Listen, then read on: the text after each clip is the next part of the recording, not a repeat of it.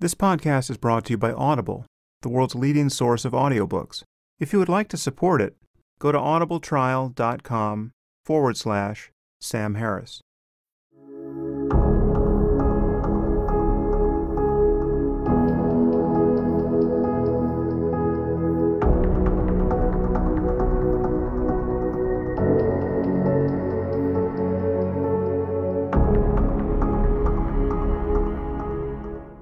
Welcome to the Waking Up Podcast. This is Sam Harris. Okay, so a little housekeeping before I introduce today's guest. First, regarding the ongoing Apple FBI controversy, it's now been, I think this is the third podcast where I have had a running commentary on this. But information continues to come in, and my views on the topic uh, continue to shift. So uh, I heard from one engineer at Google who pushed back against my initial thoughts in a way that I thought was fairly persuasive. In particular, he argues that the analogies I drew to DNA encryption and uh, building an impregnable room in one's house are not valid.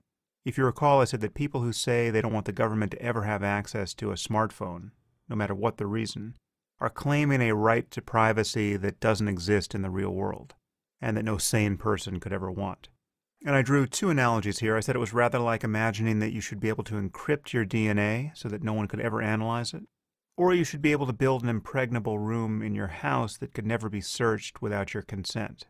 And um, my correspondent, who I will leave nameless, fairly demolishes those analogies, and I'll read you the relevant parts of his email. Because judging from my inbox, many of you are very interested in this topic, and uh, many are dissatisfied with the noises I've made thus far. So, a Google engineer writes, quote, The digital world is one unified thing people use the same platforms for privacy sensitive and security sensitive tasks. The same browser people use to watch their porn, they also use to manage their bank accounts. The same device that stores your family photos stores your tax records, and so on. Maybe it shouldn't be this way, but that's how it is. And this makes some anti crypto arguments non starters. For example, your hypothetical about anonymizing DNA. Of course, it would be a bad thing to give people that kind of privacy today, but that's because keeping your DNA untraceable has no other significant uses beyond evading criminal prosecution. Now, if you remember the dystopian sci fi movie Gattaca, that shows why we may someday have a need for DNA privacy, and why this would clearly trump the needs of crime investigation. You start from a position of sanity, but your intuition fails to consider circumstances of digital security which are very different from traditional scenarios of privacy slash security. You make another metaphor of a police proof safe room someone might want to build in their house. And I agree with you, that's not something that I believe to be my right. Not as a citizen in a society that grants the state the role of upholding security, if necessary, with use of force. What you fail to see is that digital security has a game changer attribute scalability. We geeks love that word, but in this case it's a bad thing. I don't have a big safe, but I lock my front door. It's a good balance between my privacy slash security and the needs of the state, because in the worst case of having no key and no collaboration from me, the police can force my door, or my window, or even bulldoze an entire wall. But this imperfect security is not a big problem for the regular protection I need from common burglars, or neighbors, or paparazzi if I'm a celebrity, etc. But the digital world is like having a house at zero distance from every burglar in existence, including the planet's top lockpickers. They have zero cost and near zero risk attempting to break into my door. The quote, police are virtually non existent. And even if identified, the bad guys are probably out of reach of prosecution. Even the amateurs have tools that allow them to probe millions of doors per second, and the pros have access to the same heavy tools that the police would use to force my door. And perhaps I live in a huge condo with a single door, so hacking that one lock will expose millions to ransacking. That's the nature of every digital device connected to the internet. Attacking them is a highly scalable task. You're not protected by your location. There's no affluent neighborhood with low crime and good police where the wealthy can live and feel safe. Nope, the internet is a dystopian world when it comes to security. It's a Mad Max scenario where you're only safe if your front door and your entire house and your personal car is blinded like Fort Knox's safes and armed with flamethrowers. End quote. So I thought that was quite good, and that definitely pushes my intuitions around. Um, Perhaps even more compelling than this was to see Michael Hayden, the former head of the NSA and the CIA, in fact, the only person to ever run both organizations, and a man who at one point thought that Edward Snowden should be tried for treason. I'm not sure if he still believes that. To see him come out with some qualifications on Apple's side in this dispute. And one of his reasons was that he considers cybersecurity to be the most important area of our vulnerability, and the vulnerability of open societies generally, against terrorists and enemy states. And uh, he thinks that end to end encryption would, on balance, keep us all much safer than we currently are, even with the liability that you wouldn't be able to get into the smartphone of a terrorist, uh, as we can't in the present case. And um, if true, I think that probably just settles the matter for me, because after all, my concern is about the safety of open societies. But in any case, I'm trying to get Hayden on the podcast. I may actually try to get Snowden on the podcast and um, I will let you know if either of those efforts bear fruit. Another housekeeping item the ways to support this podcast have multiplied and been consolidated on my website. Uh, so links to everything can now be found at samharris.org forward slash donate. Uh, as you know, I've created a Patreon page, which allows you to support the podcast on a per episode basis, and many hundreds of you are now doing that. Now, lest you fall prey to the diffusion of responsibility here, I can say that only about one third of 1% of the people, about 1 in 300, uh, who regularly listen to this podcast are now supporting it. Now, needless to say, I am very grateful to those of you who are. But one third of 1% support can't be the future of digital media. And diffusion of responsibility is a totally understandable phenomenon. I, experience it myself. In fact, I recently gave money to PBS for the first time I can remember, realizing that I had been happily watching Downton Abbey for years without paying a dime. Now, it's, it's easy not to perceive the need here because you know, PBS is funded by rich donors and large foundations. In any case, there's now a way that you can support this podcast without spending any extra money at all. On my donation page, you'll see that there's a link to my Amazon affiliates account. Now, if you shop at Amazon through that link, a small percentage of what you spend will go to support this podcast without it costing you anything extra. And if you take a moment to bookmark my affiliates page and use that as your gateway to Amazon, you can support this podcast going forward more or less without thinking about it. So that and the other options can be found at samharris.org forward slash donate. And please know that your support in any or all of these forms is much appreciated and actually crucial to this enterprise. Now, although I have just boldly encouraged you to support this podcast, the timing of this appeal is peculiar because I have just released what many of you consider to be the worst podcast in the history of the medium. If you listened to my last podcast, you will need no reminder of this. But if you haven't, I'm speaking about my conversation with Maryam Namazie. In truth, I think I probably shouldn't have released it. I did because I had buried my podcast with Omer Aziz, which was actually much worse and I received some flack for that. And since I had announced my conversation with Maryam in advance, and many of you were eagerly expecting it, I just felt my hands were tied. I, I, was worried that some of you wouldn't trust my judgment in this area. And so I thought, you know, what the hell? Well, you know, let them hear a conversation that didn't really go anywhere worth going. Uh, so that's what I did. And um, I think it was probably bad for everyone that I released it. It certainly seems to have been bad for Maryam. She received a ton of criticism on social media and reacted quite badly to it.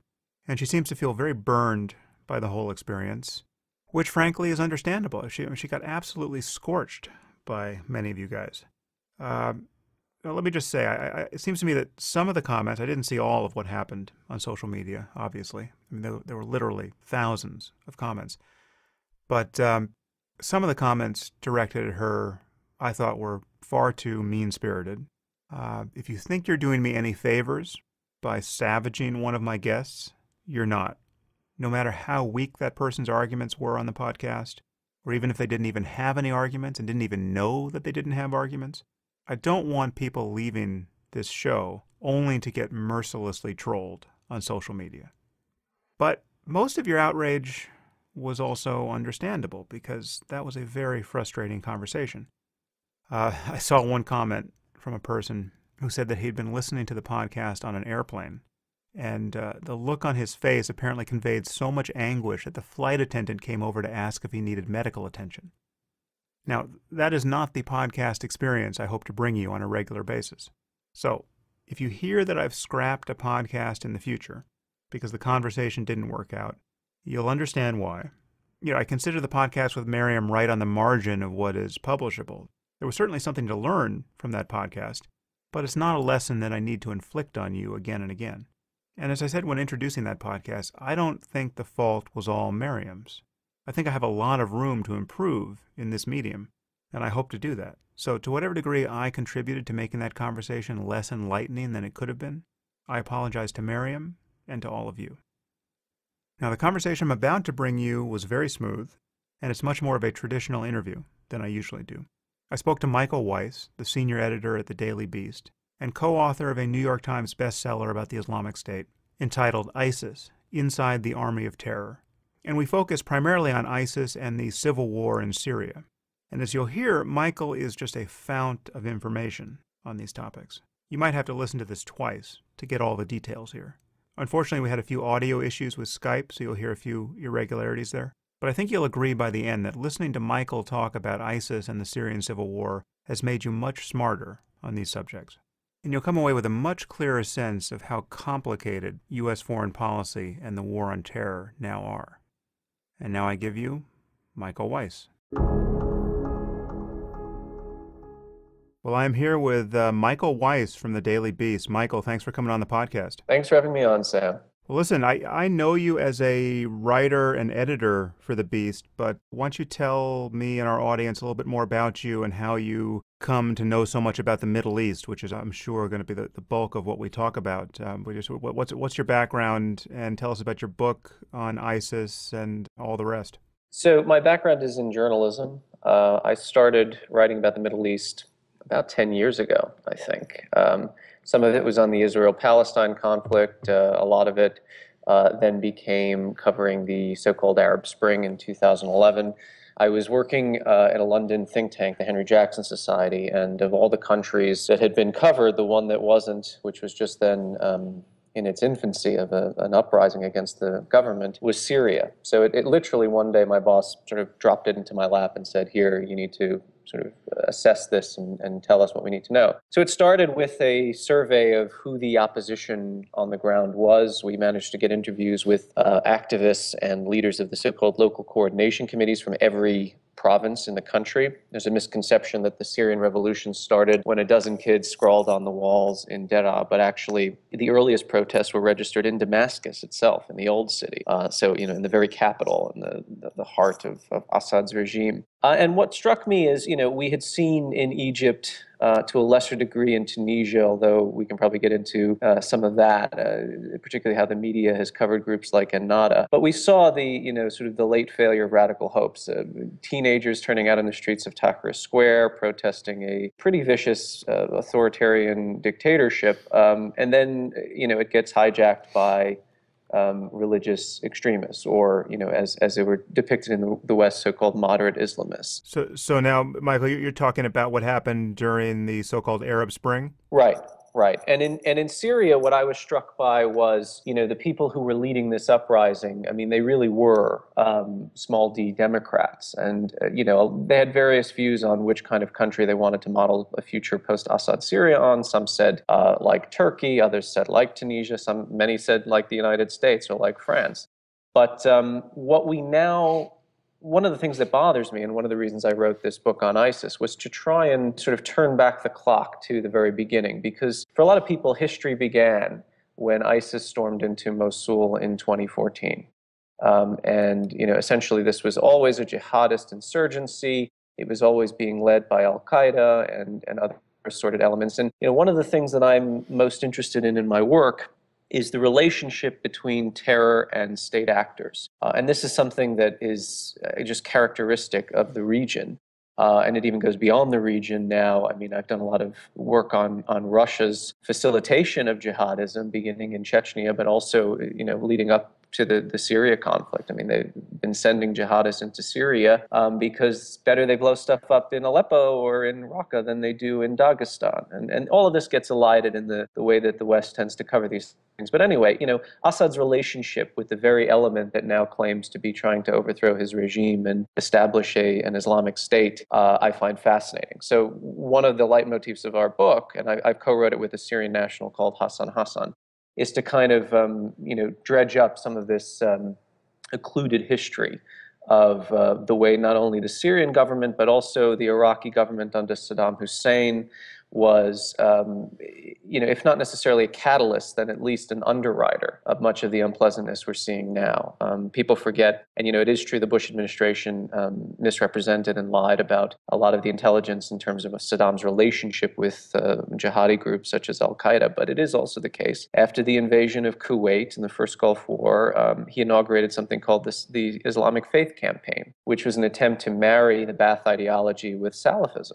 And the reason for this was he saw the greatest threat to his regime. Well, there were two. One was from Iran next door, with, with whom he had waged a brutal eight year war. And the other was internally from Islamist elements, particularly the Muslim Brotherhood. So, one of the unintended consequences of the faith campaign was people abandoned the Baathism and took up the Salafism. And a lot of these elements have wound up or they did wind up in the, the so-called uh, anti-American and anti-Iraqi insurgency in, from 2003 onwards. But now, funnily enough, a lot of these former regime elements are in the upper echelons of ISIS. You're looking at uh, lieutenant colonels in the Iraqi army or agents of the Mukhabarat uh, intelligence services. And uh, some of the leading operatives, including those who constructed the ISIS franchise in northern Syria in 2013, um, they behaved very much like state trained, almost Stasi like intelligence operatives. Um, so this is something I think you know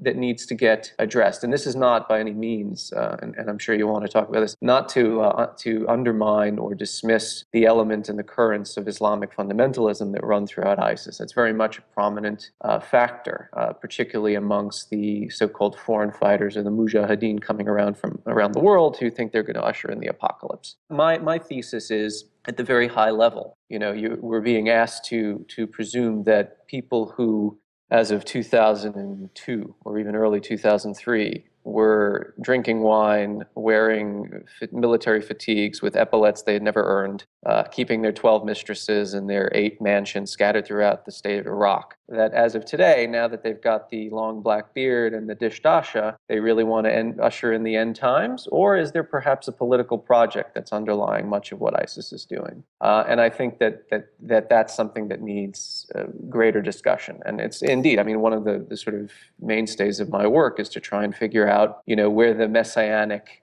or eschatological element ends and where the the political, literal state building begins for them. Well, let's talk about that because it's just a, a truly complicated situation, and it's kind of a challenge to figure out how to talk about it and you know which thread to pull first. Just a few things I want to respond to, and then maybe we can figure out how to circle in on on the details, but the first thing is that what you said about the Russians exporting their jihadists, I had frankly never heard before. So that's very interesting. And that's kind of analogous to what the Saudis have done on some basic level.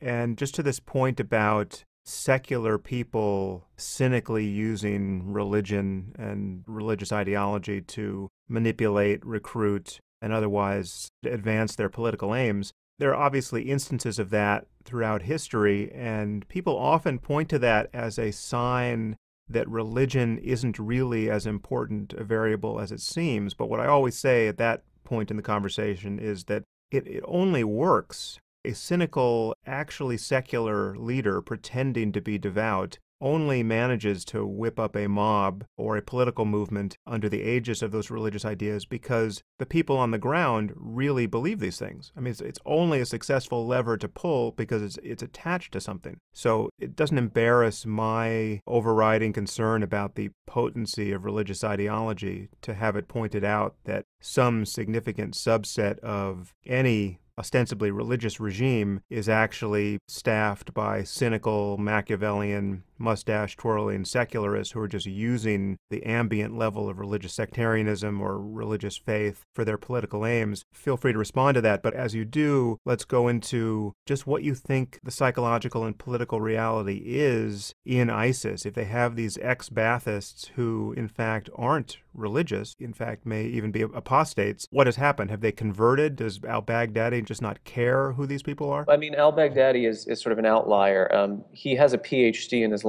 studies from a, actually it's called Saddam Hussein University, believe it or not. Uh, and the, the only way he could enroll in that program is if his family had Ba'ath Party connections. So, I mean, this is the thing. A lot of people join the Ba'ath Party not because they were true card-carrying ideologues. And, you know, one of the, stu the stupider things the United States did after, of course, invading Iraq was uh, the de-Baathification of the first three tiers of the party.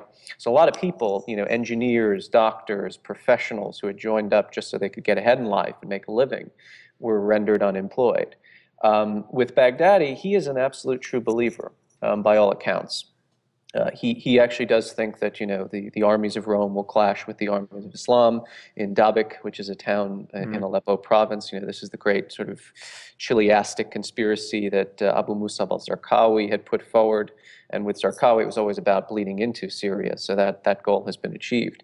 But, um, you know, I absolutely agree with you. Look, you know, life is complicated and messy, and even people who, you know, um, purport to espouse a, a, a, totalist or pure ideology um, often have contradictory or alternative um, know modes of, of, of thinking or, or systems of belief creeping in. So again, I don't know. I mean, uh, are these Baathists, are they quote unquote secular or apostate? Not necessarily. They can have been radicalized or, or salafized uh, under the faith campaign or even just, you know, by the sheer brutality and, and chaos of uh, living in Iraq, uh, both pre and post Saddam. Um, but I think it is one of the more fascinating issues of, of looking at ISIS. And look, I mean, I'm an atheist like you, uh, you know, and our dearly departed friend Christopher Hitchens used to say that religion was just another form of totalitarianism. I think that was the kind of the driving force behind his critique of it is that you know he had kind in some ways gone through it himself as a as a believing Marxist and Trotskyist. You know, Raymond Aron called Marxism a Christian heresy. There, there are a lot of similarities. You know, uh, and, and this is why, by the way, you find people who come from you know, secular or temporal ideologies essentially swapping one, you know, totalitarianism for another and, and taking up, uh, you know, some extreme form of religion or not so extreme form of religion. Uh, in fact, one of the leading evangelical Christians uh, in the United States uh, discovered Jesus in a Moscow hotel room uh, mm. when he found a, a, stray Bible. Marvin Olasky is his name. Right. Uh, he's actually Jewish, a Jewish Marxist who became an evangelical Christian. So things like that happen all the time. Uh, and, and it's it, this is not a, an attempt to embarrass. I mean, you know, I am a great admirer of your work and a co-thinker. Um, so it's not an attempt to embarrass it. It is an attempt, though, to try and fully understand. Um, and again, you know, I, I want to show that ISIS does not exist in this vacuum of, of fundamentalism. It has state sponsors, or I should say not sponsors, but state accomplices. I mean, to this day, you know, it's, it's running all of Syria's natural gas industry and selling that natural gas back to Damascus, which claims to be at war with it. Mm-hmm. it. It runs most of the oil wells in eastern Syria and is selling oil not only to Free Syrian Army groups, but also back to Damascus uh, and to uh, smugglers in Turkey and Iraqi Kurds.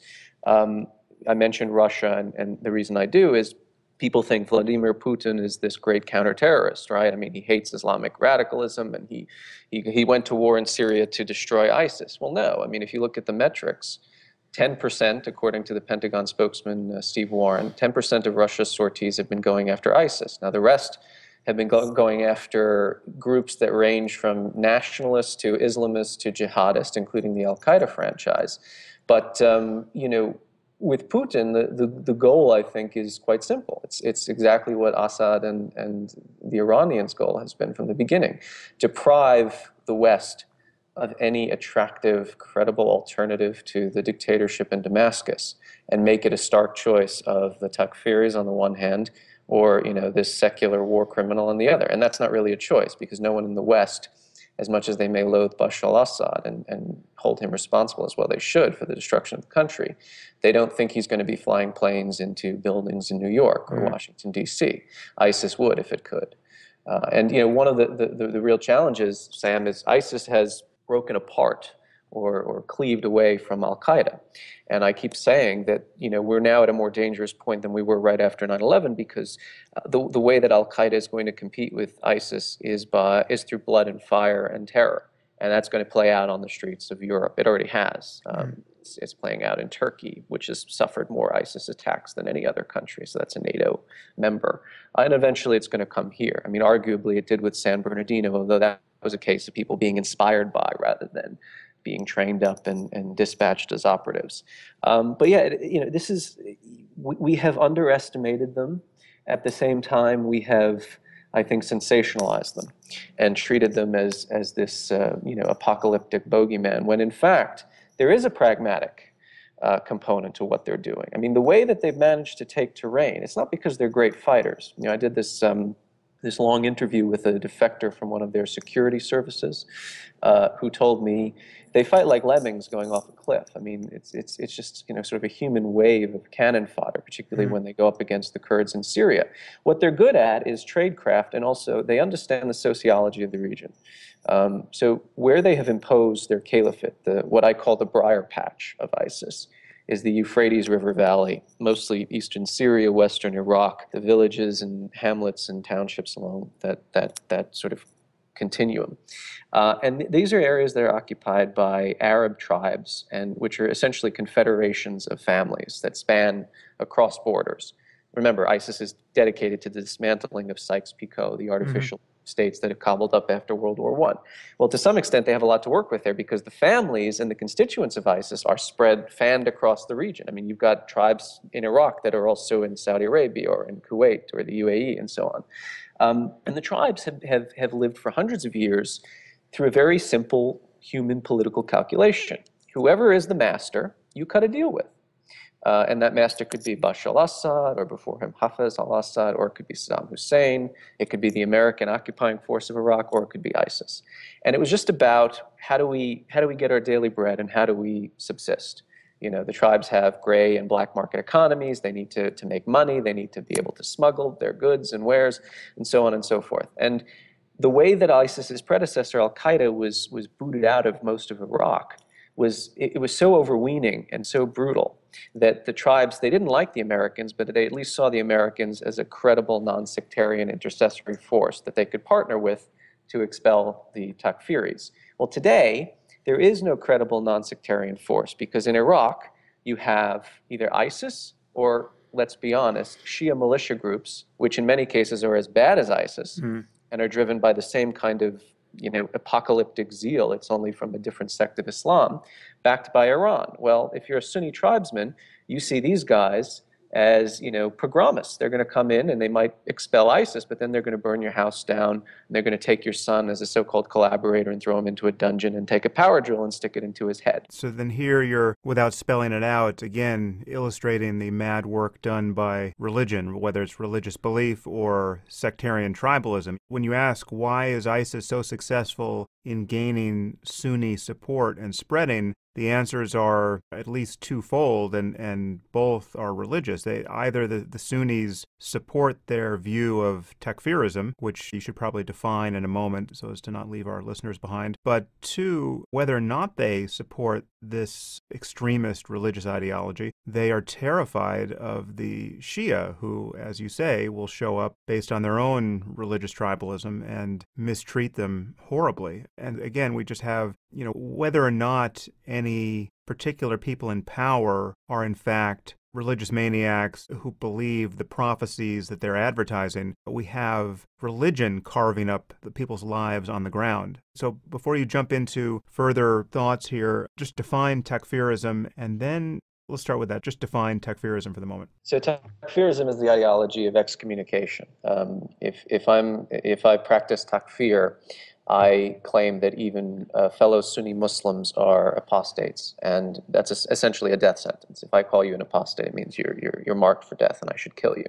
Um, ISIS is a Takfiri organization, in the sense that um, if you are deemed insufficiently pious as a Sunni, um, you'll be exterminated. Uh, now that's the that's the, the the sort of marketing and, and and how they present themselves. But again, there are exceptions. Um, they don't necessarily go around and make sure that all Sunnis um, share the exact same uh, religious construct as they. Although it is true, you know, they they will patrol the streets. They have a, a, a security unit called the Hizbah, which is essentially like the Saudi morality police. And you know, if you're not in mosque on Friday, you'll be punished and thrown into jail. Um, but you know, takfirism is a controversial conceit even within the annals of Salafi jihadism. And in fact, um, you know, Osama bin Laden was always at odds with Abu Musab al-Zarqawi, the founder of ISIS, and, you know, when it was known as Al-Qaeda in Iraq, um, over this issue. Because Zarqawi was a genocidal maniac, hmm. pathological. I mean, absolutely. I mean, there's no, I don't think anyone would really uh, try to make it controversial that, that he was a true believer in all of this stuff. Uh, this is the guy who patented the, the, the, um, the dressing of Western or non Western hostages in the orange Guantanamo or Abu Ghraib style jumpsuits, and then the beheading on video as he's reading these imprecations against the West and drawing moral equivalence between what the Crusader infidel Zionist conspiracy was doing in Iraq and now what he is doing in, in retaliation. Um, but uh, what I find fascinating is, you know, bin Laden one of the issues he had with Al Qaeda, with his own franchise, essentially, was when they were going around blowing up Sunni mosques and I'm sorry, Shia mosques and Husseiniyyahs. Zarqawi's goal was was very Machiavellian. You know, Sunnis are a minority in Iraq. They're the majority of Muslims worldwide, but in Iraq they're the minority. And the only way you're going to get Sunnis to reclaim the throne, so to speak, in, in Baghdad, is if Sunnis from around the world pour into Iraq mm-hmm. and turn it into this cynosure of all-out total sectarian war and essentially exterminate the Shia. So his project was genocidal, kill all the Shia, and in doing so, you will you will prompt or foment their radicalization, as you say. I mean, drive them into these sort of um, you know paroxysms of religious fervor. They'll be uh, run or overseen by Iran which is the mothership of Shia Islam in the region, much the way that Saudi Arabia is for Sunni Islam. Uh, and these guys will go around and do what we saw them do for almost a decade in Iraq form death squads, you know, the Badr Corps, a group called the League of the Righteous, the Hezbollah brigades, not to be confused with Lebanese Hezbollah. They were going around attacking American soldiers, but also attacking Sunni civilians, rounding them up and saying, oh, What's your name? It's Omar, so you must be a Sunni. Show me your ID card. Right, okay. So we're going to take you uh, under the cover, by the way, of being an Iraqi state institution. So, you know, if you were sick, the guy who drove the, the, the ambulance and who, who, purported to take you to hospital would actually be a, a Shia militiaman in disguise, mm. take you to some dungeon and torture you and probably kill you. So Zarqawi wanted this to happen. He wanted the Shia to become, you know, religiously extremist and, and radicalized, um, so that they would then attack the Sunnis, and the Sunnis would be driven further into the fold of Al Qaeda uh, and then precipitate, of course, this what I call the international or global casting call for mujahideen. So Iraq would become, in a sense, that the, the, another Soviet-Afghan war. People from around the world, from the Gulf, from Indonesia, from uh, you know Turkey would pour in and join the ranks of Al Qaeda, and eventually Al Qaeda would subsume everyone and everything else, including other rival Sunni organizations. So remember, the insurgency in Iraq, you had groups that were Islamist you also had groups that were nationalists, that just wanted the restoration of the Ba'ath Party or wanted Sunnis to be back on top. So it was very complicated. Um, but by, you know, look, we now know and we've seen ISIS became top dog uh, because it had the most brutal methods. It uh, became the wealthiest organization. I mean, people forget. Now, there's a lot of nonsense in, in the ether about who's funding ISIS. Well, ISIS is funding ISIS. By 2006, because they were controlling so much of the oil and illicit arms and contraband smuggling uh, you know, networks in Iraq, they had actually become wealthier than Al Qaeda to the point where bin Laden and, and Ayman al Zawahiri had asked them for a loan. mm-hmm. So the, the, the, subsidiary was meant to be financing the, the, the patron. Um, and this is, this is how they, they, they get on. And, you know, again, the complicating factors here. ISIS, we have seen, um, takes anvils and jackhammers to priceless artifacts and archaeological wonders, World Heritage Sites as, as defined by UNESCO. Um, they also, though, what they don't smash up, they steal and they sell on the black market. Now, they justify this. And again, You know, it could be uh, they absolutely believe in this in this sort of codification system for artifacts, or it could be, well, look, you know, uh, what we what's too too large to smuggle out of the country has to be destroyed, and what's small enough to struggle uh, to smuggle rather, um, we can we can then sell and remunerate ourselves. But they they justified it as follows: if it's idolatrous art, uh, paganist, pre-Islamic gods being worshipped, um, such as the Temple of Baal, uh, that all has to go if it's Babylonian or Sumerian coins, little trinkets uh, that we dig out of the sand, well, we can sell that. Mm. They have a whole department. Uh, actually, Abu Saif, the guy that was killed in the U.S. Special Forces raid in eastern Syria last spring, he was in charge of the antiquities smuggling for ISIS. And you know, they they they they, they do this like I mean, it's almost like a Talmudic enterprise of defining what can can can stay, what can go, and how you have to handle it, and how you have to ask permission mm-hmm. for stealing. You know, the cultural patrimony of Syria and Iraq is very sophisticated. I mean, and you know, they their pretensions of statehood are not really to be underestimated. We like to pretend like no, they're just a guerrilla insurgency. They, they, you know, they really think. And again, whether it's motivated by religion purely or religion plus a sense of political restoration or Sunni revanchism, uh, mm-hmm. uh, they believe that they are building a state apparatus. Uh, and the caliphate is a legitimate uh, international project. There's no, there's no, um, there's no self-deception about that. So it's been widely reported of late that ISIS has lost a significant amount of its territory and is showing signs of buckling under the pressure being applied to it. What do you make of those reports? Are they true? Is that wishful thinking? It's true, um, but up, only up to a point. So IHS, uh, which is a British defense firm, reckons that ISIS has lost 14% of its territory across Syria and Iraq in 19 months. 14% of territory is not that much but it is significant in the sense that they have been pushed out of large quadrants of northern Syria by the Kurds. They have lost um, some significant terrain, rocks such as uh, Ramadi, which is a provincial capital of Anbar province that they had claimed in uh, last May. But what this does not account for is where else they have taken territory. Um, so, for instance, ISIS has what's known as wilayats, which is uh, the Arabic word for province. These are essentially affiliate organizations that predate ISIS allegiance to Abu Bakr al-Baghdadi, the leader of the organization. Uh, so Boko Haram, the Nigerian terrorist outfit in West Africa, uh, has pledged allegiance to ISIS. With the stroke of a pen, one could argue, hmm. ISIS gained 20,000 square miles of territory in West Africa with that pledge of allegiance. Now, does sure. that mean that they have absolute control or, you know, uh, the, the kind of terrain uh, governance capability that they do in Syria and Iraq? No. But it does mean that they have people who are fired by their ideology and willing to die on their behalf.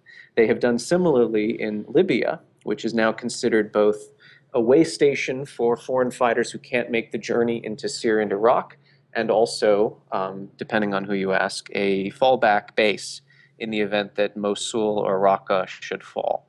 Uh, and they're doing this since Sinai, the, the, the, outfit that took down the Metrojet airliner, or, you know, Russian commercial plane killing over 200 people, um, that Wilayat Sinai is essentially a, a, a, colonial outpost, if you like, of ISIS.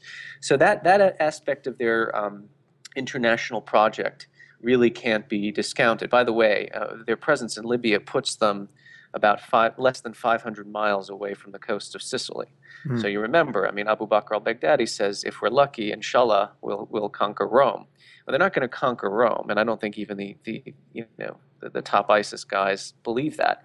But they can certainly come close enough to Europe, and we, as we know, and as we've seen in Paris and elsewhere, they're already in Europe with their sleeper cells and their sort of covert operatives, the invisible armies, as I like to, to, to, to call them.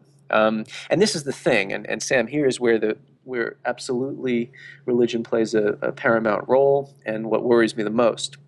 ISIS, uh, you know, if you're Baghdadi or if you're in his Shura council, you go to bed at night in, in Raqqa or Mosul or wherever you're hiding, and you know that you might wake up tomorrow and some guy you've never heard of who could have been living in his mother's basement in Albuquerque um, might take an AK-47 and shoot up a school and do it in the name of your organization.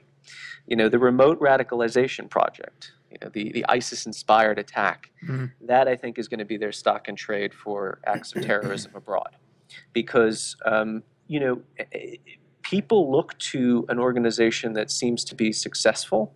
Doesn't matter how ultra. In fact, the ultra violence works in its in its favor for any kind of you know loser lunatic element living in any part of, of the world really um, and and you know their their state building uh, the reason that this has to be successful for them is because it has to inspire people to join their ranks. If they're lo- they're seen to be on the decline or on the back foot, they're not going to inspire as many operatives.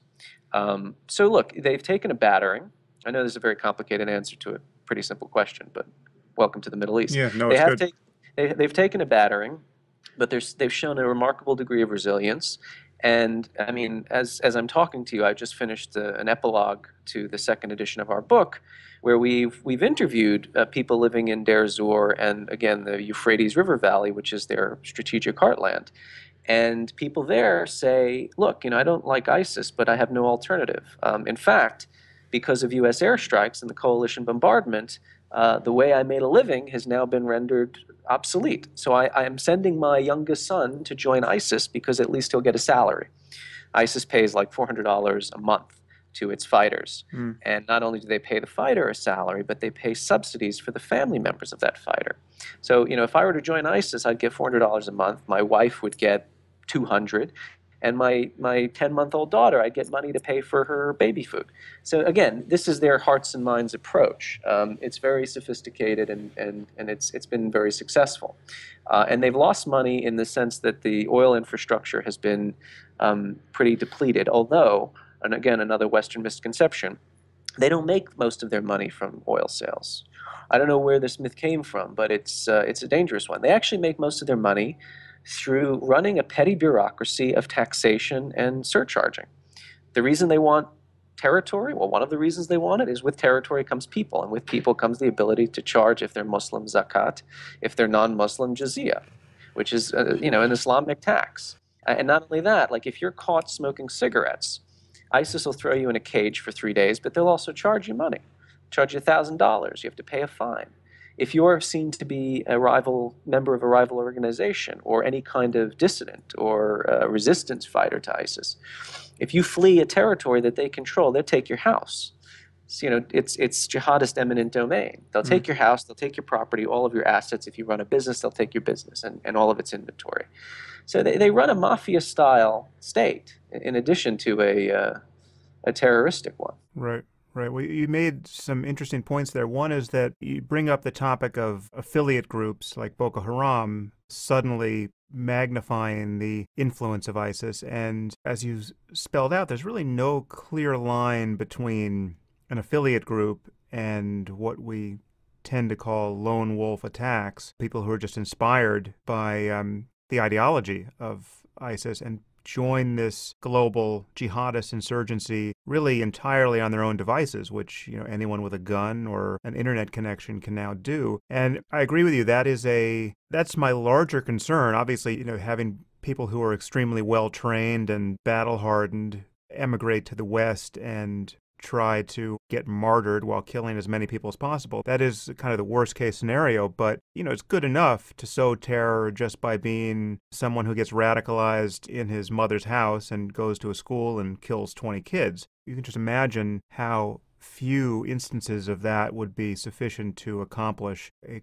crazy overreaction and paralysis in any Western country. So Given that, as you just pointed out, the compelling narrative of ISIS that will attract lone wolves and affiliate groups in perpetuity is anchored to their perceived success as a state, as a caliphate. Well, then why not just go in and destroy them to the last man in a month? which presumably is within the capacity of the United States or some coalition of Western powers to do. Now, I'm sure part of your answer will be an acknowledgement of how horrific the collateral damage would likely be in that case. But let's talk about what it would take to defeat ISIS in the most humiliating and decisive way, and why aren't we doing that? So there's there's two things I want to um, discuss to answer your question. First, the state building, um, you know, nothing succeeds like success. That's that's a main element for sure. But there's another element that I didn't address. The reason that ISIS has been so persuasive in its narrative. What is its narrative? I should define that first.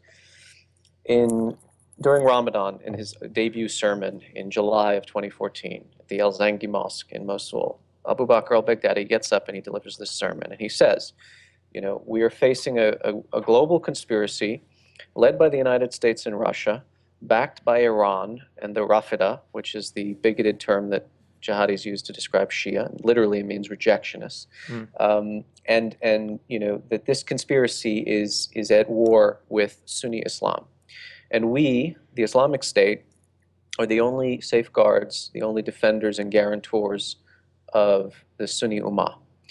Now, that you might say, well, that's just par for the course for you know crazy messianic terrorist group. Everything's a conspiracy, and everyone's part of it except them. The problem is, Sam, you know, in the last decade, if you're Sunni living in the region, or just you know, you're, you're in a souk in, in Cairo, or you're at some bazaar in Antakya, southern Turkey, what have you witnessed? The U.S. goes into Iraq topples a minority regime of Saddam Hussein, dispossesses, disinherits Sunnis from what had been a very pretty privileged and elite station, you know, ruling one of the major capitals of the region for 30 plus years. Uh, then revolution kicks off in Syria. Syria is a Sunni majority country, so between 60, 70% of the country is, is Sunni. Um, people are being barrel bombed, they're having Scud missiles dropped on their heads. They're having sarin gas deployed against them. They're having chlorine bombs deployed against them. Uh, their women and sons are being gang raped in prisons.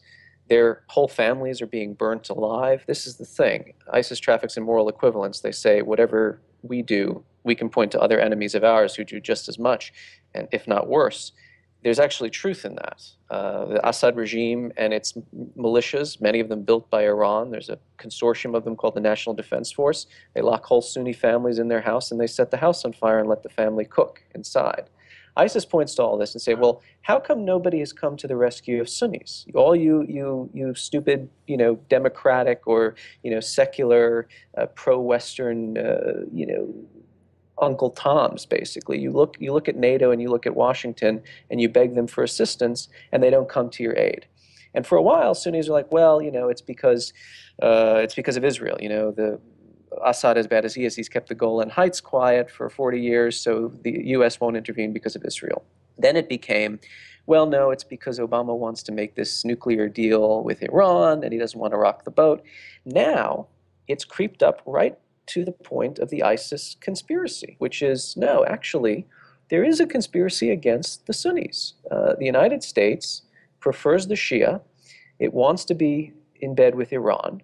Uh, and it wants the Shia, led by the Revolutionary Guard Corps of Iran and backed by the militias in Iraq and helped by Lebanese Hezbollah and helped now by Syrian militias that are being built as we speak, these guys to be the janissaries of a new regional order. And the people who are going to pay the price are the Sunnis. But we outnumber everybody else, so we should pour into the ranks of ISIS, or if you don't like ISIS, Jabhat al Nusra, the Al Qaeda franchise in hmm. Syria. Mm. And we have to defend ourselves. It's become a very, very compelling narrative. Now, in slightly churlish moments, I joke, it's hard to tell where ISIS conspiracy theory ends and US foreign policy begins, because if you listen to what President Obama has said, he gave three very evocative interviews um, David Remnick of The New Yorker, Tom Friedman of The New York Times, Jeffrey Goldberg of The Atlantic.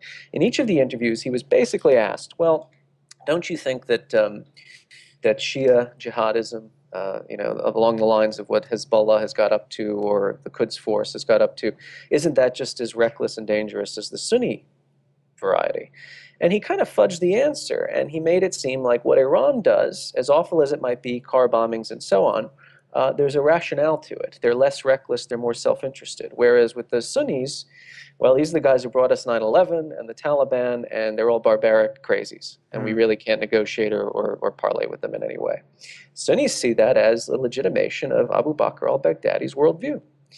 Um, and I, I keep insisting, you know, the, the State Department, the US government, all Western governments are putting a lot of money into the counter narrative or essentially anti ISIS propaganda. And in private moments, you talk to these diplomats in charge of the programs, and they tell you we're failing. And we're failing because we exhibit ISIS atrocities, but they exhibit their atrocities. And we don't understand why are people being driven into the arms of a group that's going to burn a man alive in a cage, or blow up a car filled with guys with an RPG, or drown you know a collection of, of, of innocents in a cage in a, in a giant pool. And the answer is, you focus on the snuff component of those videos, but you don't focus on the other 15 or 20 minutes. So let's take Muaz al-Qasasbah, you know, the burning of the Jordanian pilot. Mm. Um, this was this was the video that shocked the world in many respects, even worse than the beheading of James Foley and Steven Sotloff and the other American hostages. Who burns a man alive in, alive in a cage? Well, that's a 20-minute video. The last five minutes of it is the, the, the, the sort of violent pornography. The first uh, 15 minutes of it is what? Qasasbah sat at a table um, wearing the orange Guantanamo style jumpsuit, uh, essentially being interrogated, although it's couched as an interview.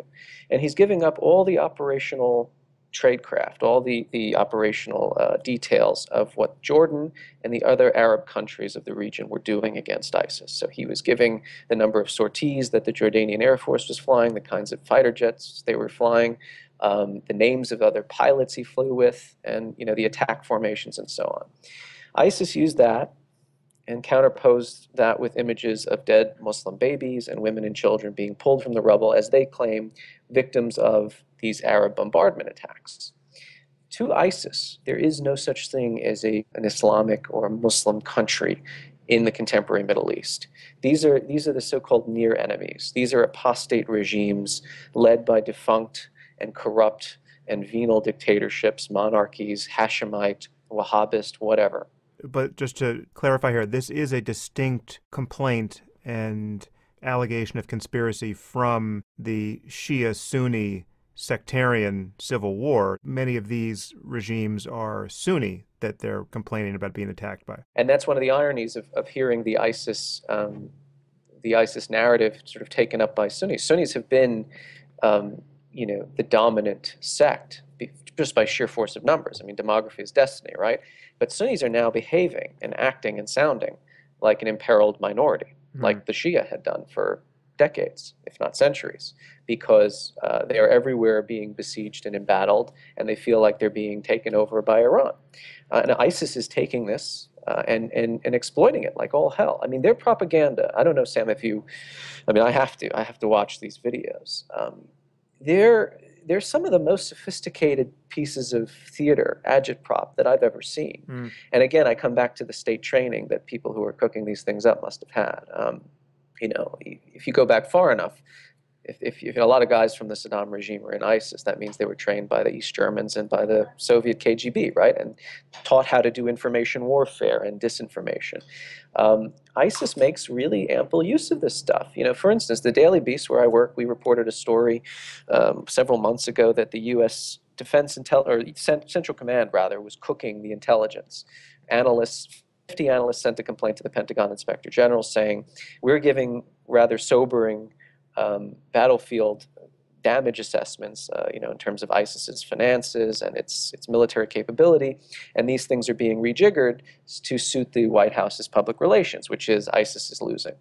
Uh, ISIS took this and put it into one of their videos, and they counterposed that with images and and statistics of the number of U.S. military veterans who commit suicide every month, mm. and they're saying, look, you, you this is a defunct empire. This this is what happens when you don't have uh, you know, the true path of Islam as a guiding force in, in the construction of your, you know, your sort of global enterprise. Um, the United States will fall. And you know, I, there's a former military intelligence officer sent me the video, American military intelligence. He said, you know, if I didn't know any better, I'd want to join these guys because this is very this is very persuasive stuff. Mm. So they're taking a what I you know what I would call the the sort of geopolitical nervous breakdown uh, particularly afflicting the Sunni Muslim population of the Levant, Mesopotamia, but also the outlying countries. They're taking this and just, I mean, it's like damn putty in their hands. And it's one of the reasons that people aren't rising up against them.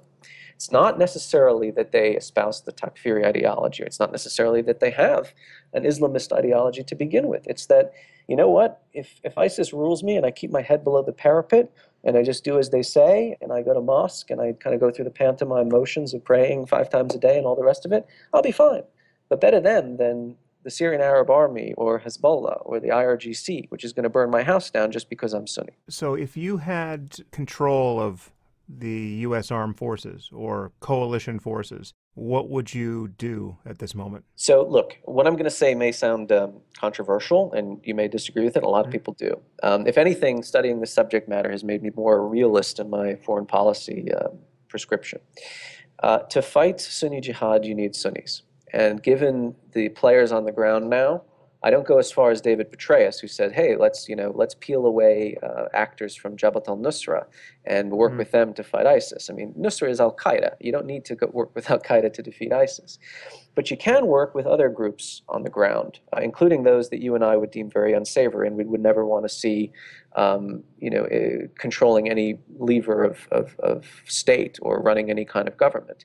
Um, and the reason is, look, Sunnis will welcome in fellow Sunni Arabs uh, as liberators from ISIS, you know, held territory. They're not going to welcome in the Kurds because they'll see the Kurds as conquerors.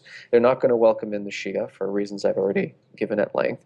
I would do more to build up a, a Sunni Arab gendarmerie or counterterrorism force to go after ISIS. But in order to do that, and we, we, we sort of kind of tried it with the Pentagon's Train and Equip program, you have to give them an incentive. And their, their chief incentive, the raison d'etre of the Free Syrian Army, which is really just a, a, grab bag term to describe hundreds, if not thousands, of separate militia groups.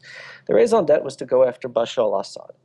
Well, I'm not saying you got to bust down the gates of the presidential palace, drag him out by his feet, and hang him upside down Mussolini style. Although many Syrians, and probably myself included, would, would love to see nothing better than that to happen at some point. But you have to isolate his regime and give protection to the civilian population and give protection to various opposition groups. And by protection, I don't mean seeing Samantha Power tweet, you know, messages of solidarity with the, the, the poor, terrible embattled people of Syria, you have to give them some measure of military protection. Now, this has become all the more difficult in the last three months because Russia has now mm-hmm. installed a no-fly zone. And Russia's no-fly zone is really, you know, a, a, a zone of, of bombing with impunity. And as I mentioned, they're going after everybody but ISIS. But in the eastern parts of Syria, the, the Sunni tribal areas, you know, a program to, to weaponize and incentivize those guys to, to rise up against ISIS um, that would work. Now, I, I, can't give you the exact logistics of how you do that. I mean, I'm not a military planner. But if you talk to people who, especially the veterans from the Iraq War, the military intelligence side, the diplomatic side, people like Robert Ford, Derek Harvey, Joel Rayburn, they'll tell you, like, you, you're going to need this constituency on your side. And right now, we're running such a deficit in trust and credibility with them that it's a real uphill battle to, to win them back over. And the only way you can win them over is if you convince them, actually, the U.S. does care about the plight of the Sunnis. And the first order of business is at least containing the Assad regime. Right. Not acquiescing to its its reconquering of land, not sort of you know ignoring its human rights abuses. And the UN came out with this report this week uh, of, of all detention facilities in Syria run by Assad, Nusra, and ISIS. And the one that, that's run by Assad and his the four branches of his intelligence service, they said, is conducting a campaign of extermination. Well, again, you know, if you're if you're on the ground in Syria and you, you, you don't have to read that, you're living it. But if you're being exterminated and nobody's coming to your rescue, why the hell are you going to become a counterterrorism proxy for the United States, mm. a country that's leaving you to your fate? So in terms of what would what would I do militarily? Look, um, you know, you've got your, your, your, Ted Cruzes who say just carpet bomb the hell out of eastern Syria and don't worry about the humanitarian uh, expense, uh, leaving aside committing war crimes, gross human rights abuses. Everything I just mentioned to you, you know, kind of the, the, the psychological or the sort of zeitgeist component to why ISIS is succeeding, all of that will literally go up in flames if you just further bomb and, and disinherit and, and sort of, uh, you know, exterminate is the only word I can think of the Sunni Arab constituents that are being uh, lorded over by ISIS. You need them on your side.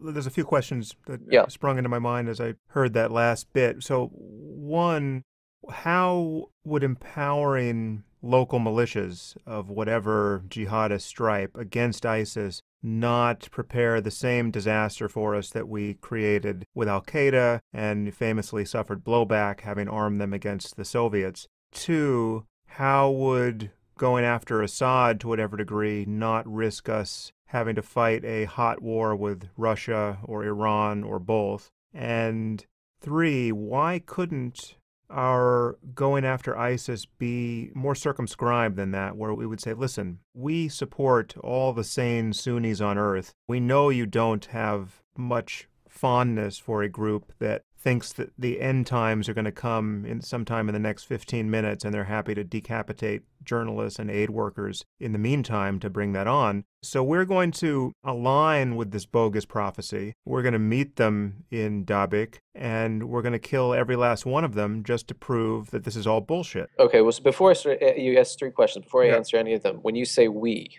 I mean, wait, who's going to meet them in Dabiq? We're going to send U.S. military forces. Yeah, yeah. it could, it could be. I mean, that's the simplest case. That or a coalition of the none too willing. Right. Well, look. Um, here's again. I defer to people who've actually fought in these wars and who understand the terrain and, and the nature of the enemy. Um, U.S. Special Forces are saying, "Let us at them. We can cut like a hot knife through butter through all of the so-called caliphate." And just kind of, you know, scalp these these guys. Um, they don't think it's going to require very many troops on the ground to meet that objective. Mm. So perhaps, I mean, you're right. Uh, I, I, happen to think, yeah, look, um, of course, ISIS is going to say, you know, we dare you to come in here and usher in the apocalypse. I mean, that, that suits their interest, right? They don't want American troops, um, particularly because they know that American troops would partner with these local militias. We would enfranchise and weaponize them, much as we did in Iraq in Al Anbar province and, and uh, Nineveh and elsewhere. And that would be the end of ISIS. And, and you have only to look at what ISIS is saying and to see just what really drives them nuts and where their paranoia comes from. One of the main planks of their propaganda is to forestall another awakening you know, the, the, the tragedy of, of Iraq is we forgot all the lessons we learned of how to turn these populations against the jihadists, but the jihadists remembered all the lessons and all their mistakes. So, you know, for instance, um, ISIS has one of its most powerful propaganda videos is called Clanging of the Swords, which shows them going around house to house uh, and rounding up all the sheikhs and the tribesmen who partnered with the Iraqi government and the U.S. military uh, and executing them, making their kids dig a mass grave and beheading them and dumping the bodies into the grave along mm. with their children. And that image is juxtaposed with um, images of mass repentance rallies. If you were part of the awakening councils in Iraq, if you joined with the Rafida conspirator, the Rafida Crusader conspiracy, all will be forgiven if you turn in your weapons, tear up your ID badges, and pledge allegiance to ISIS. So they're, they're absolutely terrified of you know these militias kind of coming back and, and a real grassroots rebellion against them. And that tells me that they know that they're on borrowed time with these guys. And if, if there were a U.S. military presence, um, a presence which would, of course, not go around doing anti-Sunni pogroms, but partner with the local communities once the, the ISIS element had been expelled from the towns or cities or villages, that would be the, the death knell for them, at least strategically speaking. So to that extent, sure, um, that, that's a possibility. Now, when you say um, deploy military troops to Syria, well, you know, one of the, the questions you asked me about, well, wouldn't this sort of start a proxy war or not so proxy war with Russia, Iran, and Assad? Well, yeah. Uh, but you know, you've got Russian special forces in northern Syria already. We know they're operating in Latakia province. I've heard they've been deployed uh, elsewhere, such as Homs.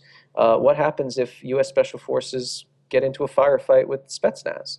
You've got uh, thousands upon thousands of Revolutionary Guard Corps officers headed by Qasem Soleimani in northern Syria, particularly in Aleppo. We know this because a lot of them are being sent back to Tehran in boxes and then buried under state obsequies as martyrs in a foreign land.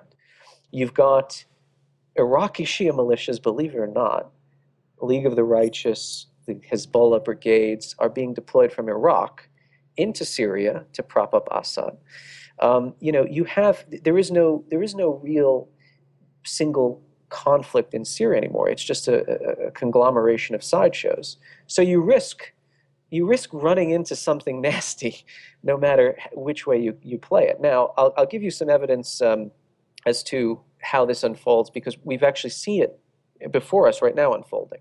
Um, when Russia invaded Ukraine, one of the arguments against uh, arming the Ukrainian military with Javelin anti tank missiles was well, if a U.S. anti tank missile is shot by a Ukrainian soldier and blows up a Russian T 82 tank, won't that start World War III? Like, that's the U.S. at war with Russia, right? Well, in Syria, the CIA has been running an anti tank missile known as the TOW to um, 39 different Free Syrian Army units. Mm. small little brigades or battalions that they have vetted and they trust to handle this material with care and not give it over to any nasty element such as Nusra or ISIS.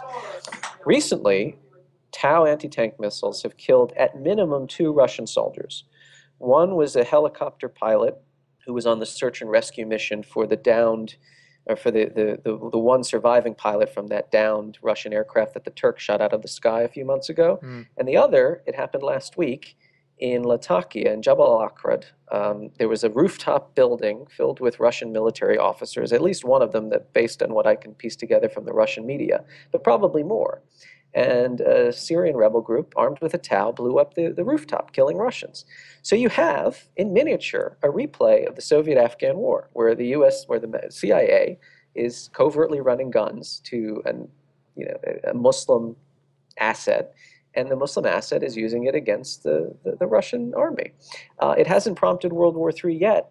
And you know, knowing what I do of the Putin regime and how the Kremlin behaves, if Syria were to turn into another Afghanistan, if Russian pilots or jets or helicopters were blown out of the sky, or Spetsnaz soldiers were sent home, the so-called cargo through 300 in, in coffins, that would probably precipitate a recalculation on the part of Putin as to whether or not this adventure is succeeding. Russia has only managed to gain 1.3% of territory back for the Syrian regime and it's been three months, and at untold costs of hundreds of millions, if not billions of dollars from Russian state coffers. So we haven't exacted a price for Russia intervening against us uh, in Syria.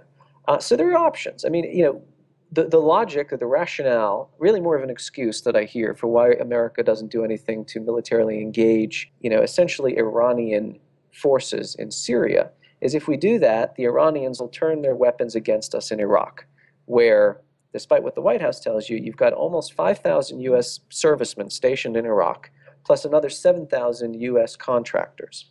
Well, we haven't really been fighting the IRGC in Syria, and that still hasn't stopped their proxies from kidnapping three American contractors in hmm. Baghdad. This happened within the last few weeks. So, you know, when we do nothing or when we say to our enemies, how can we help you? I mean, what, what do you want us to do not to antagonize or provoke you? You know, they treat us like dirt anyway. They walk all over us. So yeah, there, there are a lot of ways you can at least, you know, bring a bigger beating to ISIS. And it starts though with this socio-political campaign that has to be driven home with fire and steel, not with rhetoric and not with conferences in Switzerland that nobody wants to attend because they're being barrel bombed. Uh, so you have to give Sunni Arab military uh, proxies. You have to give them some support. Otherwise, again, you're not going to flush ISIS out of its briar patch in the Euphrates River Valley. The Kurds can't do it, and they're our most trusted and reliable ally because they fight really well, and they're not jihadi. They're secular, mm. quasi-Marxists, basically. I mean, that's that's what the PYD, which is the affiliate of the Kurdish Worker Parties, Kurdish Workers Party in Syria, I mean, that's their ideology. Um, but they, they know that they can't march into Raqqa City or Deir ez-Zor, nor would they want to, because they're going to be slaughtered by the local community, not by ISIS. They'll be seen as, as conquerors, not liberators. Why haven't we supported the Kurds more than we have? Um, well, this is, this is where it also kind of enters into uh, Alice in Wonderland mode. So, as I say, the, the most trusted ground force in Syria for the United States is the YPG militias, which are essentially wholesale um, paramilitaries of the Kurdish Workers' Party's Syrian affiliate. Um, the Kurdish Workers' Party is designated by Turkey and the United States as a terrorist organization because for 40 years they've waged an on again, off again insurgency against the state of Turkey. Now, you know, people listening to the program and you and I would say, well, look, Tayyip Erdogan, the president of Turkey, is a megalomaniac and he's also an Islamist. Mm. You know, we've seen his sponsorship for Hamas. We see what he's doing to journalists in his country. Let me tell you, though, uh, AKP and the, the ruling party in Turkey and Erdogan, doesn't matter if you installed a Kemalist or a, a, a secular CHP man uh, in the, at, at, the head of state. The, the, the, Turks will always see foreign policy and national security through the prism of, of Kurdish separatism. There's no political element in the country of Turkey, modern Turkey, that sees the PKK uh, as a friendly political or military element in its midst. The only exception to that rule, of course, are PKK aligned Kurdish parties in Turkey. Mm. Um, so the U.S. is not doing more to back them, although we're doing plenty. I mean, we are giving them close air support. U.S. Special Forces deployed in northern Syria are partnering with the PYD. We're arming them to mm. some extent. Brett McGurk, who is the envoy to the anti ISIS coalition, was recently in northern Turkey meeting with the PYD, uh, much to the exasperation of the Turks. But so here you have the world's largest NATO member state facilitating, you know, underwriting, arming, backing essentially a terrorist organization as seen by the second world's largest army of NATO. It's a big contradiction in the way of this of, of, of you know putting forward this anti-ISIS strategy. It's also one of the reasons that Turkey doesn't really want to be part of this coalition. It's turned a blind eye to ISIS's aggregation on mm. its southern doorstep. I've reported from, from the Turkish border. I've seen the way that anyone can walk across it, although that has changed in recent months.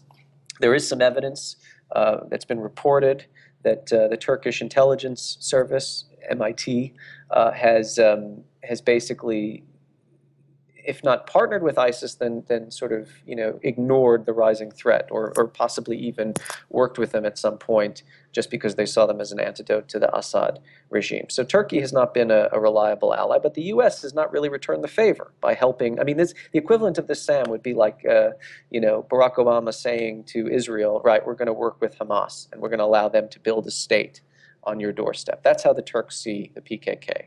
Right. I'm not drawing moral equivalence. I'm just explaining it to, to you as, as their national security issue. Yeah, uh, yeah. But with respect to the Kurds of northern Iraq, again, this is very complicated. The Kurds of northern Iraq don't like the PKK any more than the Turks do. Because again, Kurdish politics, we think of the Kurds as this monolithic entity, but they're like everyone else. They have rival groups, rival ideologies, and, and different uh, political actors who want to essentially take over the entire, uh, well, in this case, the, the diaspora.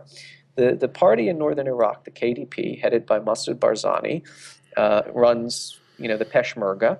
The Peshmerga did a piss poor job of defending Sinjar from, from ISIS's onslaught in 2014. It's one of the reasons that the Yazidis were put to the sword and genocide was committed. The people who bailed out Sinjar were the PKK.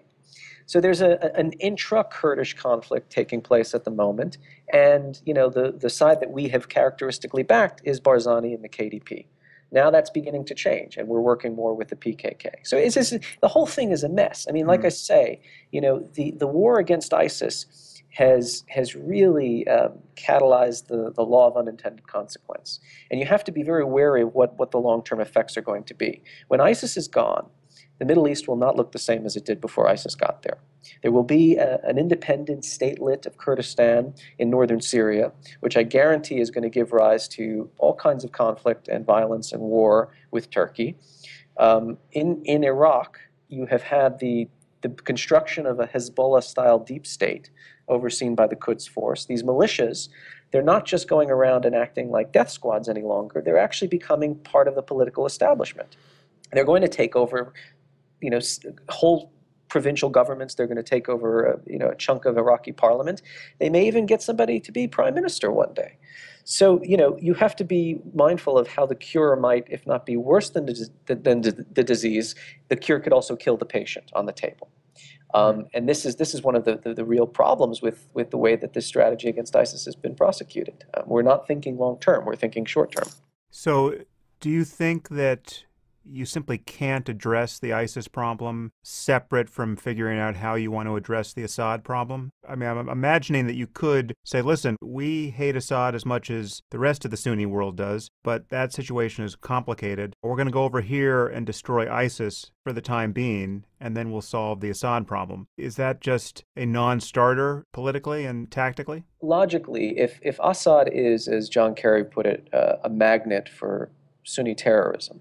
Leaving him in place just means you're going to draw more Sunni terrorists into Syria. So you're not going to physically be able to address the ISIS problem to your satisfaction without at least engaging or containing al Assad. But we're still, I mean, in, when talking about numbers, I think the last I heard, we thought ISIS had managed to draw in something like 40,000 international recruits. I don't know, is that still a current number? Um, I think it's dropped now, and it's definitely true that foreign fighters are having a harder time getting into the so called caliphate country. Right. Um, so these numbers are, we're not talking about a million man army. We're talking about tens of thousands of people. So, but but what what what that neglects is you know we're talking about foreign fighters, but it, you're not talking about domestic fighters. It's the people that ISIS lord over. You know, this is the, this is the part of the problem. Like, what defines an ISIS member?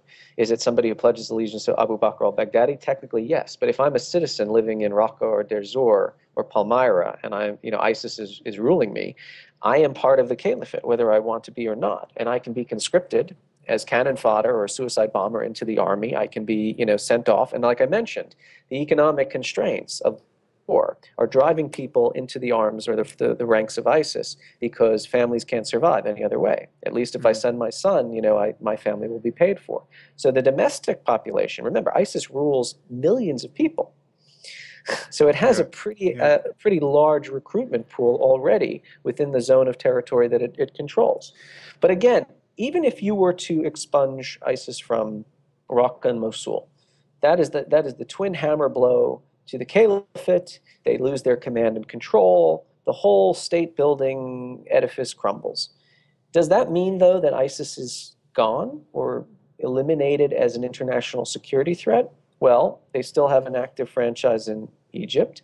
They've got, you know, they're in control of at least parts of three major uh, cities or towns in Libya. They're creeping into Afghanistan and giving the Taliban a run for its money. They're popping up all over. There is even an element of them in the North Caucasus of Russia. Mm. Um, so they can wage terror attacks from those those areas uh, just as well as they can, frankly, from anywhere. Um, and you know, it's it's it's a question of how do you contain the the ideological fervor? How do you how do you make it? How do you disincentivize Muslims to join up with this organization? Yeah, yeah, that is the most important question from my point of view. And despite what may seem implicit in my recent line of questioning of you, I fully agree that the best thing to do would be to have Sunnis somehow contain the problem, whether that's you know indigenous militias or Sunni neighboring states deciding that they need to send armies in to deal with ISIS just given how inflammatory it is to have an army of infidels and Christian crusaders going in and dealing with it. And it, it comes back to this crucial issue of how do you make jihadism ultimately as ideologically unattractive as Soviet style communism now is. And so that, that's the magical change of hearts and minds we have to accomplish in the Muslim world. But it does come back to some of what you said earlier that just no matter how decorously we walk on eggshells amongst our enemies, we still never get much credit for doing so, and we we look more and more like a paper tiger. And there are there is some subset of the Muslim world, and I would put all of the jihadists into this category that only understands stark power differentials and uses of force. We're never going to behave so well as to align the jihadists with our interests. And I think there's an open question of, about whether we could behave so well as to align Islamists more generally with our interests. And so it's a question of, you know, what is the most compelling communication that will convince the maximum number of the world's potential recruits to Islamism and jihadism that they're on a collision course with the 21st century. They have to figure out how to live in a pluralistic,